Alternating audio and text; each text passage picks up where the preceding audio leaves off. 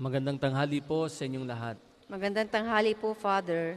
Sama po natin sa banal na pagdiriwang na ito ang ating mga kahilingan sa ating Panginoong Diyos. Sama din po natin ang Misa Pasalamat para sa kaarawan ni Reverend Father Iniego Adona Jr. ng Missionaries of Faith para sa espesyal na intensyon ni Nabelan Perez, Michi Elbo, Rebecca Siriaco at Julie Vergara. At gayon din alalahan natin sa banal na pagdiriwang na ito ang kaluluwa ni na Napoleon Villegas at Marshal Bermudo at lahat ng kaluluwa sa purgatorio. Sa ngala ng Ama at ng Anak at ng Espiritu Santo. Amen. Amen. Ang pagpapala ng ating Panginoong Heso Kristo, ang pag-ibig ng Diyos Ama at ang pagkikipagkaisa ng Espiritu Santo naway sumainyong lahat. At sumayin niyo rin. Mga kapatid, aminin natin ang ating mga kasalanan upang tayo maging marapat gumanap sa banal na pagdiriwang.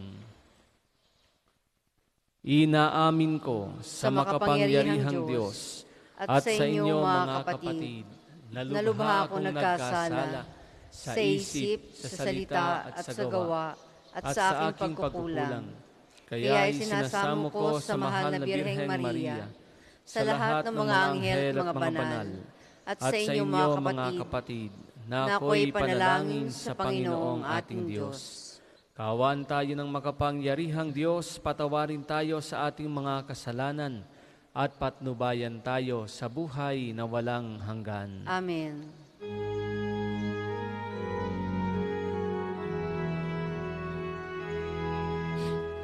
Panginoon,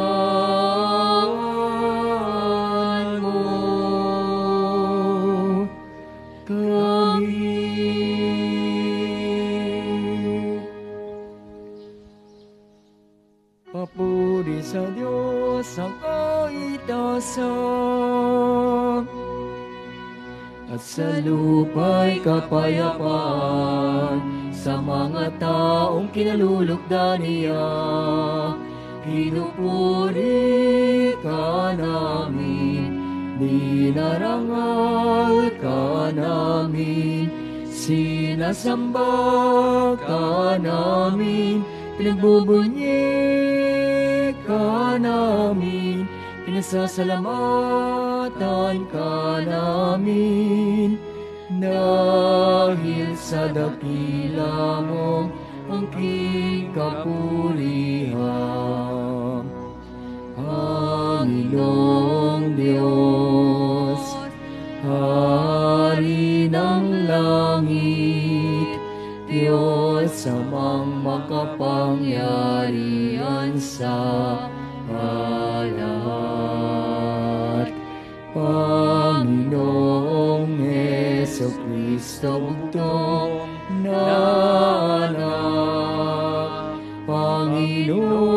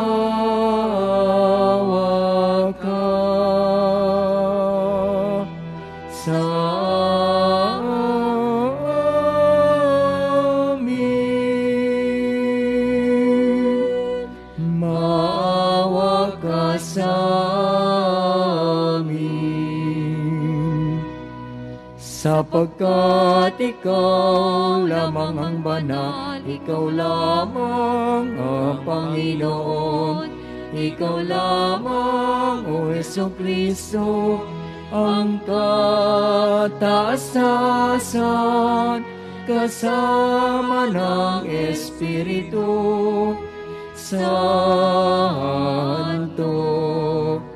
sa kadakilaan ng Diyos Ama.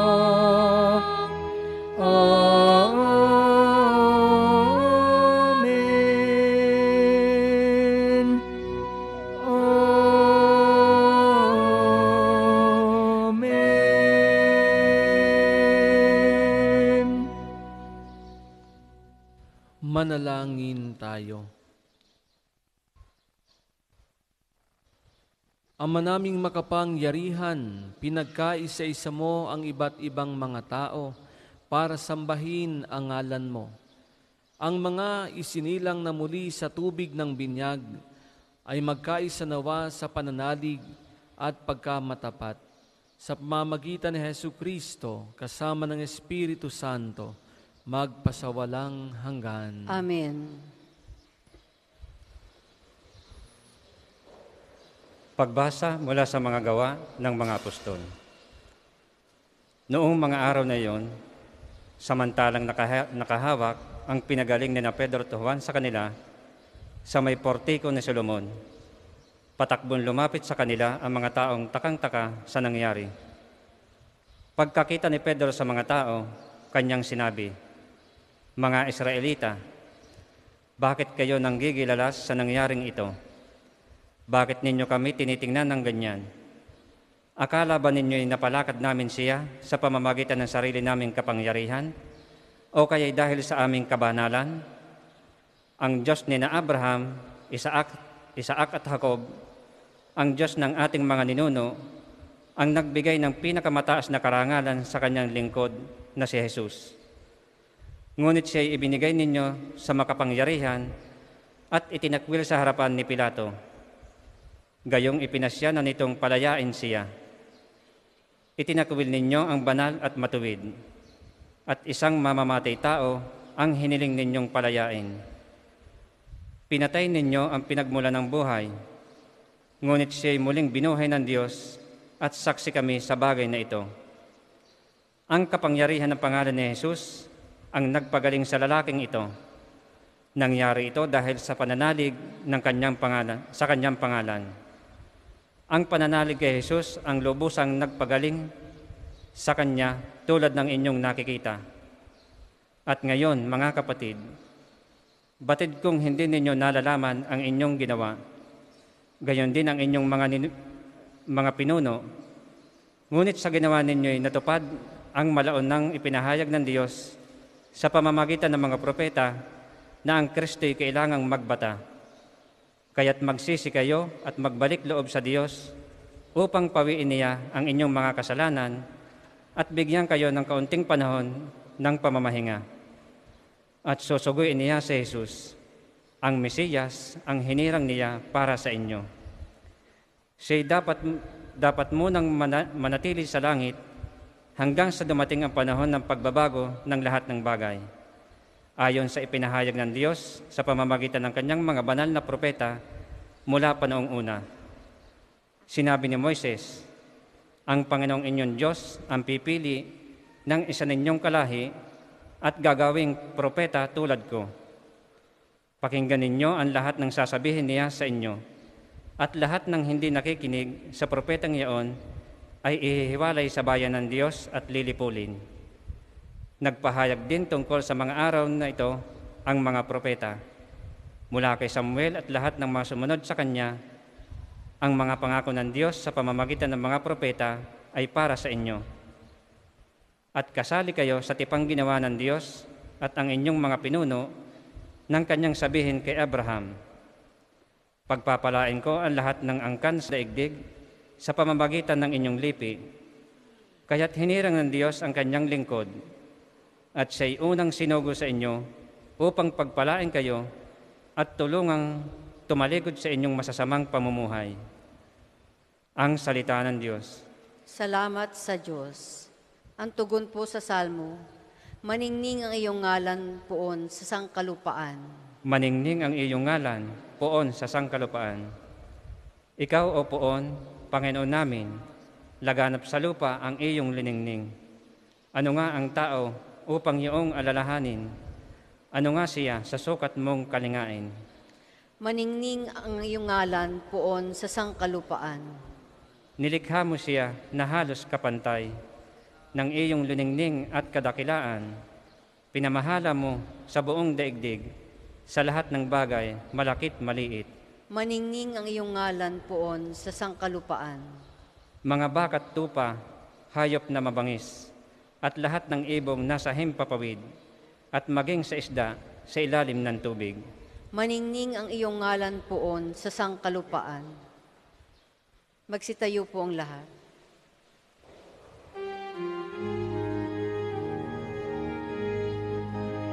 Alleluia, Alleluia,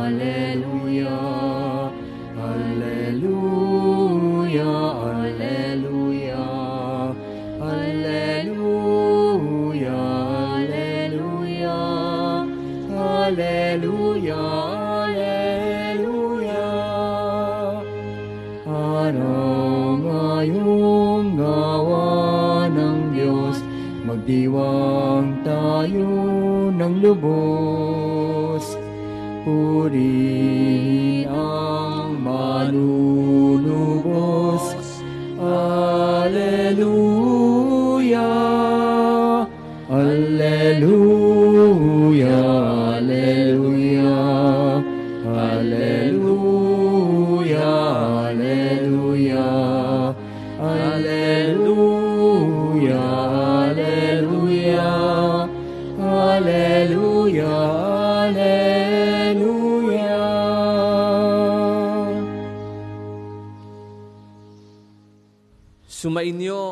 Panginoon. At sumainyo rin. Ang mabuting balita ng Panginoon ayon kay San Lucas. Papuri sa iyo, Panginoon. Noong panahong iyon, samantalang isinasalaysay ng mga alagad ni Jesus ang nangyari sa daan at kung paano nila siyang nakilala nang pagpira-pirasuhin niya ang tinapay, si Jesus ay tumayo sa gitna nila. Sumainyo ang kapayapaan, sabi niya sa kanila. Ngunit nagulat sila at natakot sapagkat akala nila'y multo ang nasa harapan nila. Kaya't sinabi ni Jesus sa kanila, Ano't kayo'y nagugulumihanan? Bakit nag-aalinlangan pa kayo? Tingnan ninyo ang aking kamay at paa. Ako nga ito. Hipuin ninyo ako at pagmasdan. Ang multo'y walang laman at buto, ngunit ako'y mayroon tulad ng nakikita ninyo. At pagkasabi nito, ipinakita niya sa kanila ang kanyang mga kamay at mga paa. Nang hindi pa rin sila makapaniwala dahil sa malaking galak at pagkamangha, tinanong sila ni Jesus, May makakain ba riyan? Siya'y binigyan nila ng kaputol na isdang inihaw. Kinuha niya ito at kinain sa harapan nila. Pagkatapos sinabi sa mga alagad, Ito ang tinutukoy ko nang sabihin ko sa inyo noong kasama-sama pa ninyo ako. Dapat matupad ang lahat ng nasusulat tungkol sa akin sa kautusan ni Moises, sa mga aklat ng mga propeta, at sa aklat ng mga awit. At binuksan niya ang kanilang pag-iisip upang maunawaan nila ang mga kasulatan.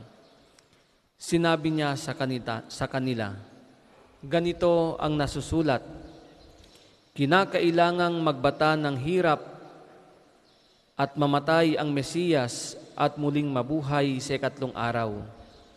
Sa kanyang pangalan, ang pagsisisi at kapatawaran ng mga kasalanan ay dapat ipangaral sa lahat ng bansa. Magmula sa Jerusalem, kayo ang mga saksi sa mga bagay na ito. Mga kapatid, ang mabuting balita ng Panginoon. Pinupuri ka namin, Panginoong Heso Kristo. Magandang tanghali po sa inyong lahat. Magandang tanghali po, Father. Welcome po sa Parish and National Shrine of St. Padre Pio. Ngayon ay Huwebes sa walong araw ng pagdiriwang ng Pasko ng muling pagkabuhay ng ating Panginoon. Happy Easter po sa inyo. Buhay ang ating Panginoon. Buhay ang ating tagapagligtas. Buhay ang ating pananampalataya. Palakpakan po natin ang ating Panginoon. Sa ating ebanghelyo, tumayo si Jesus sa gitna ng kanyang mga alagad. Sinabi niya sa kanila, Tingnan ninyo ang aking kamay at paa. Ako nga ito. Hipuin ninyo ako at pagmasdan.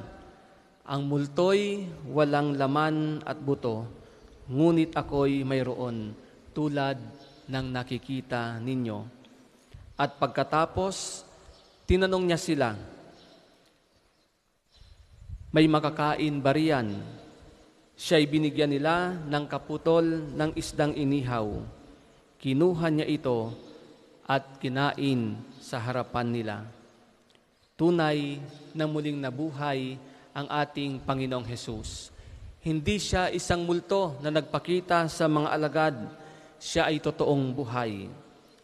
At ang kanyang pagkabuhay ay dapat nagdudulot sa atin ng kapayapaan. Katulad ng pagpapakita niya sa kanyang mga alagad, sinabi niya, Sumainyo ang kapayapaan. Sinasabi rin niya sa atin, Sumainyo ang kapayapaan. Tanungin natin yung ating mga sarili, meron kayang kapayapaan sa ating buhay?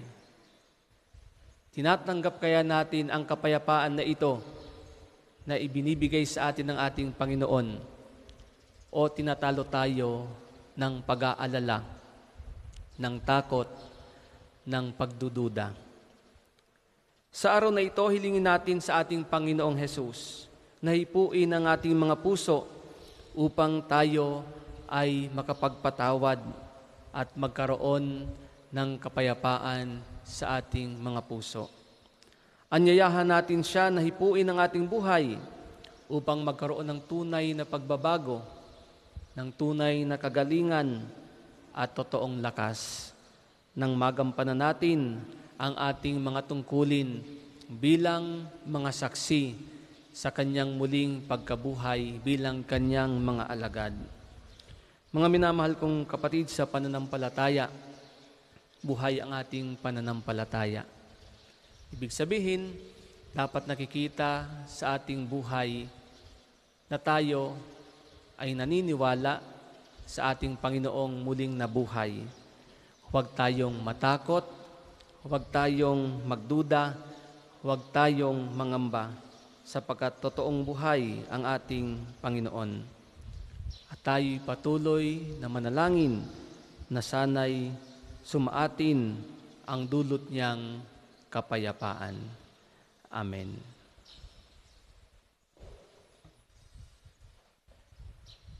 Para sa mga maghahandog ng sobre, pakihulog na lamang po sa buslo.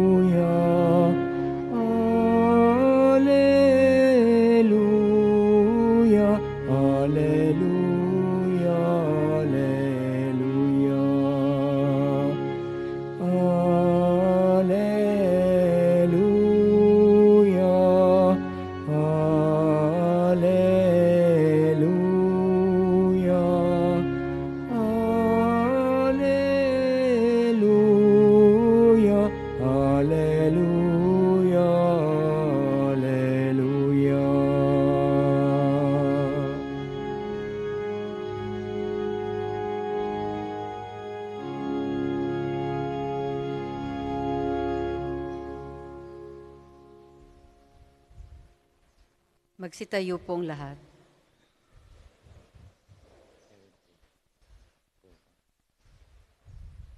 Manalangin kayo mga kapatid upang ating paghahain ay kalugdan ng Diyos amang makapangyarihan. Tanggapin nawa ng Panginoon itong paghahain sa iyong mga kamay, sa kapurihan niya at karangalan, sa ating kapakinabangan, at sa buong sambayanan niyang banal.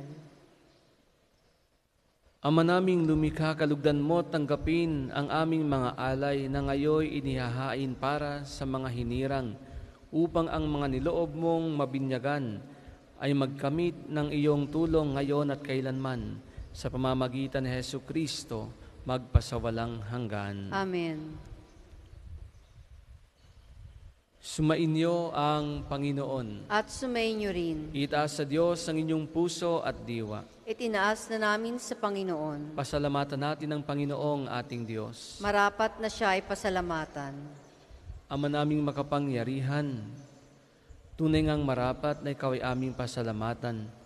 Ngayong ipinagdiriwang ang paghahain ng Mesiyas, ang maamong tupa na tumubos sa aming lahat. Naghahaing walang humpay ang anak mong minamahal upang magkasalo-salo ang tanan sa piging ng iyong buhay.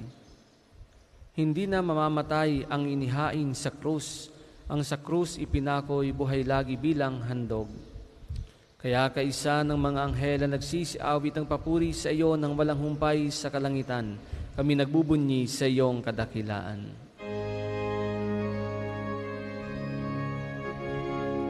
Santo, Santo, Santo, Panginoong Diyos ng mga hukbong, napupuno ang langit at lupa ng kadakilan sana sa kaitaasan, pinagpalang na paririto sa ngala ng Panginoon. O sana sa kaitaasan, o sana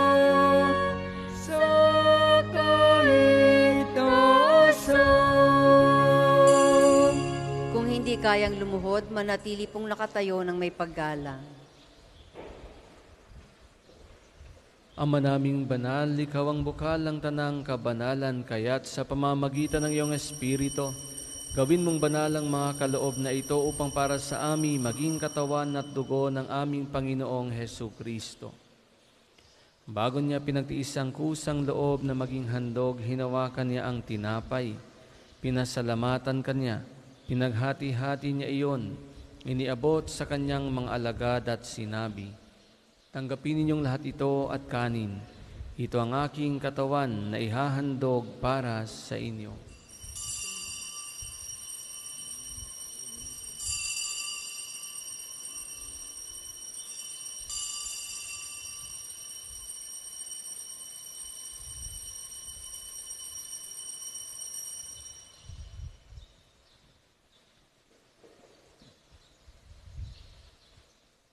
Gayun din naman, nung matapos ang hapunan, hinawakan niya ang kalis, muli kanyang pinasalamatan.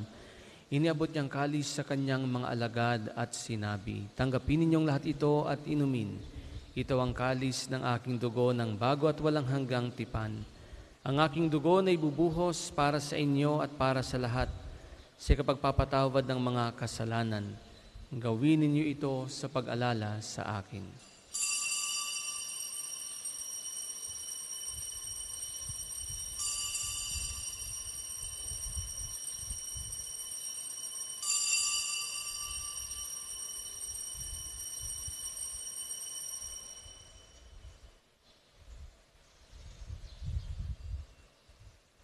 Ipagbunyi natin ang misteryo ng pananampalataya.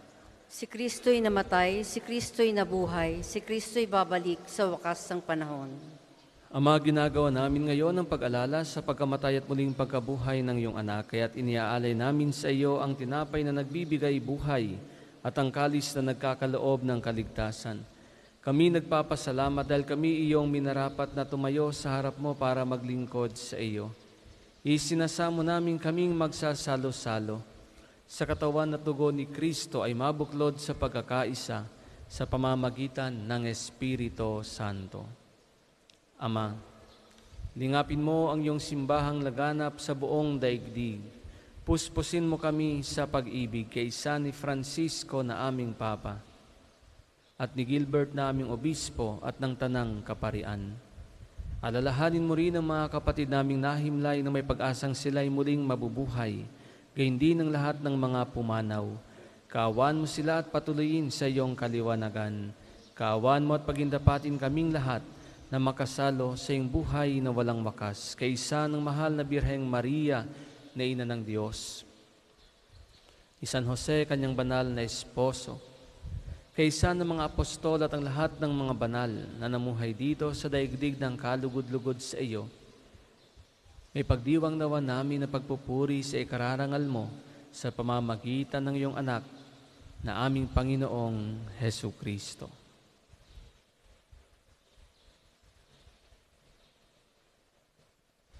Sa pamamagitan ni Kristo, kasama niya at sa Kanya, ang lahat ng parangal at papuri ay sa iyo, Diyos, amang makapangyarihan, kasama ng Espiritu Santo, magpasawalang hanggan.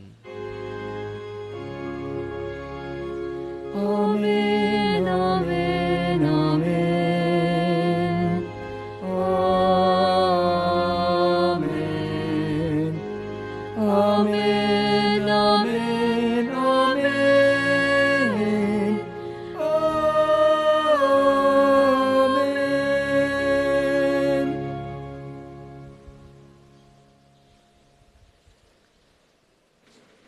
Sa tagubilin ng mga nakagagaling na utos at turon Jesus na Panginoon natin at Diyos, ipahayag natin ng lakas loob.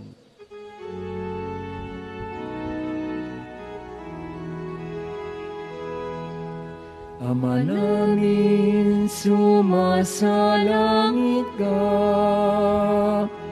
sambahin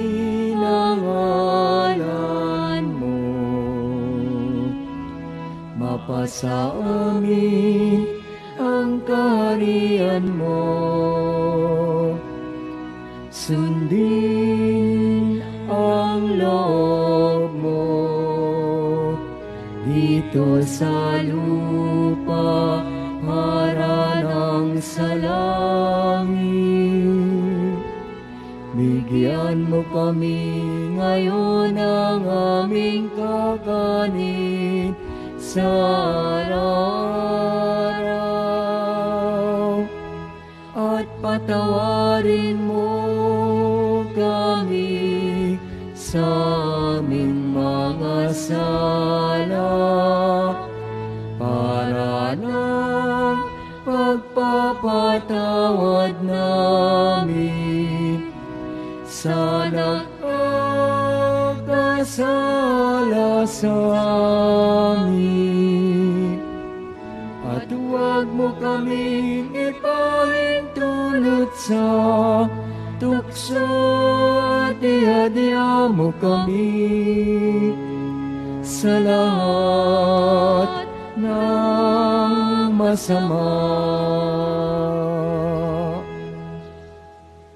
Hinihiling namin kami adya sa lahat ng masama, pagkalooban ng kapayapaan araw-araw, iligtas sa kasalanan at ilayo sa lahat ng kapahamakan.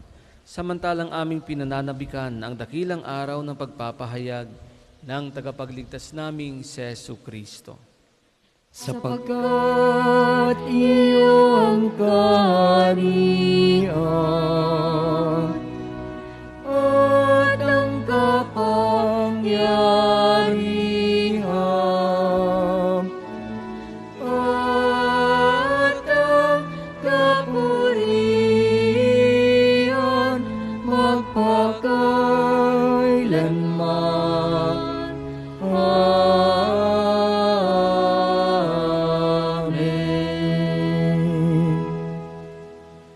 Panginoong Heso Kristo, sinabi mo sa iyong mga apostol, Kapayapaan ang iniiwan ko sa inyo, ang aking kapayapaan ang ibinibigay ko sa inyo. Tunghayan mo ang aming pananampalataya at wag ang aming mga pagkakasala. Pagkalooban mo kami ng kapayapaan at pagkakaisa ayon sa iyong kalooban. Kasama ng Espiritu Santo, magpasawalang hanggan. Amen. Ang kapayapaan ng Panginoon ay laging sumainyo. At sumainyo rin. Magbigayin kayo ng kapayapaan sa isa't isang. Peace be with you. Peace. Peace. Kordero ng Diyos na nag-aalis sa mga kasalanan ng sanlibutan, maawa ka sa amin. Kordero ng Diyos na nag-aalis sa mga kasalanan ng sanlibutan, maawa ka sa amin. Kordero ng Diyos na nag-aalis sa mga kasalanan ng sanlibutan, ipagkalob mo sa amin ang kapayapaan. Kung hindi kayang lumuhod, manatili pong nakatayo ng may paggalang.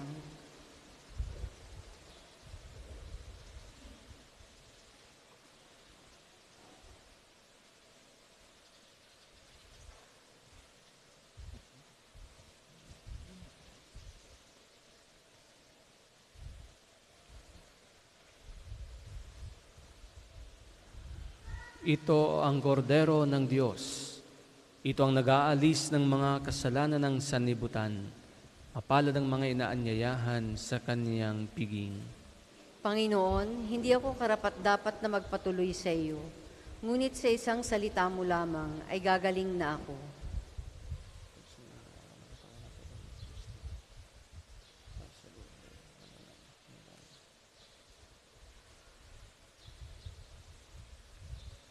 Ang katawan ni Kristo. Amen.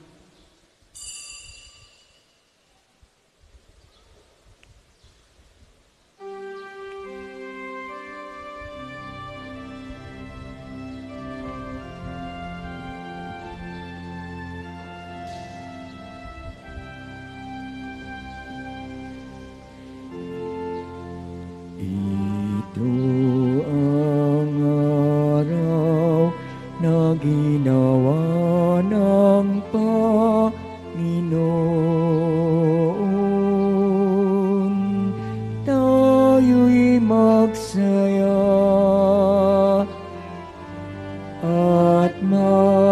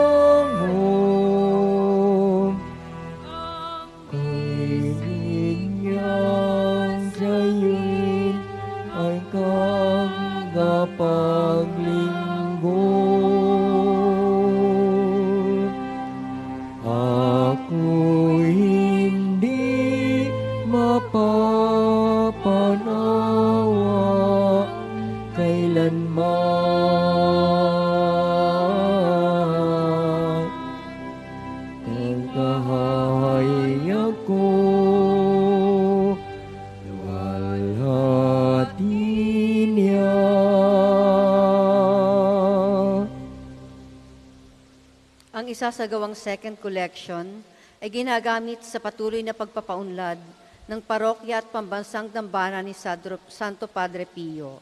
Salamat po sa inyong handog. Ito ang araw na ginawa ng Panginoon.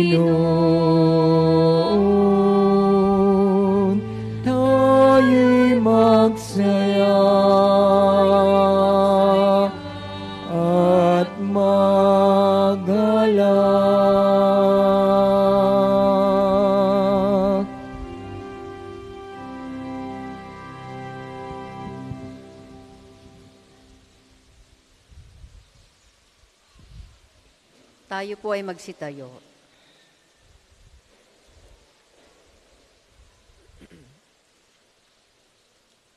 Manalangin tayo.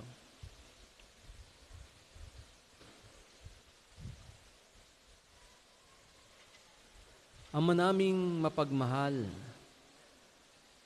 ang aming mga pagluhog ay iyong pakinggan para sa pagkakamit ng iyong tulong sa amin araw-araw at para sa pagkakaloob ng ligayang walang katapusan na pawang idinudulot ng banal na pakikinabang sa pagdiriwang ng pagpapalitan ng iyong bigay at aming alay sa pamamagitan ni Hesu Kristo kasama ng Espiritu Santo magpasawalang hanggan. Amen. Panalangin ng pagtitiwala kay Santo Padre Pio. Tayo pong lahat. Padre Pio, taga Petrelcina, mongheng banal, pintakasing santo ng milenyong kasalukuyan. Gabay namin sa pagtahak sa landasing makalangit, takbuhan sa pangangailangan, huwaran ng pagtitiis. Sa iyo namin inilalapit aming mga kagipitan. Sa iyo po ay pinipiling kalusugan at kabuhayan.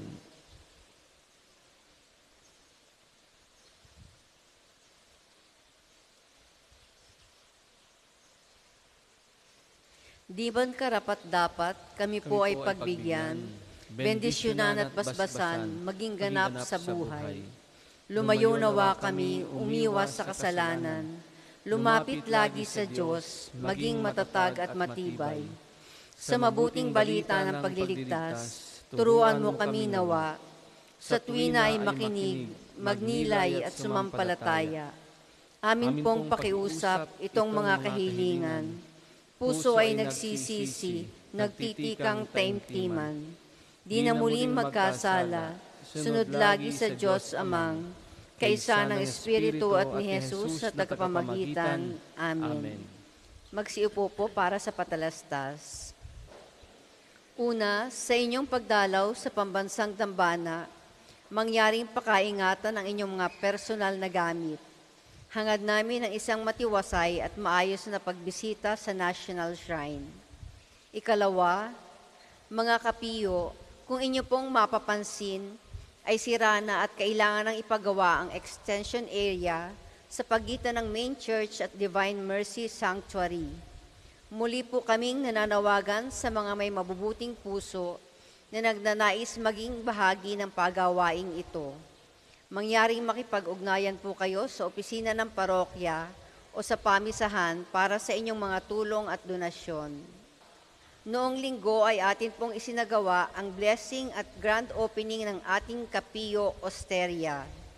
Kaugnay nito ay mahigpit tayong pinaalalahanan sa ating panawagang Clay Go or Clean as You Go.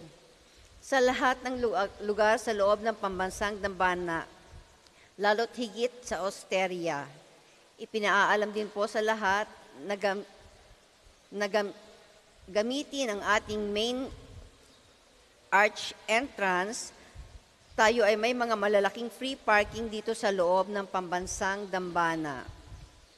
Ikalima, mga kapiyo, bahagi ng pagdiriwang ng kaarawan ni Padre Pio ngayong ikadalawamput lima ng Mayo, tayo ay magkakaroon ng car raffle dito sa pambansang Dambana. Ito ay fundraising program upang matulungan ang ating mga scholar ni Pio. Maaari kayong makabili ng ticket sa pamisahan, sa HR office o sa mga naka-station sa paligid ng simbahan sa halagang 500 pesos lamang. Panoorin po natin ito. Ang misa ay sa ganap na ikadalawa ng hapon. Maraming salamat po at mangyaring panatilihin natin ang kalinisan, katahimikan at diwa ng pananalangin sa loob at labas ng ating mga simbahan. Magsitayo na po tayong lahat para sa pagbabasbas ng religious articles.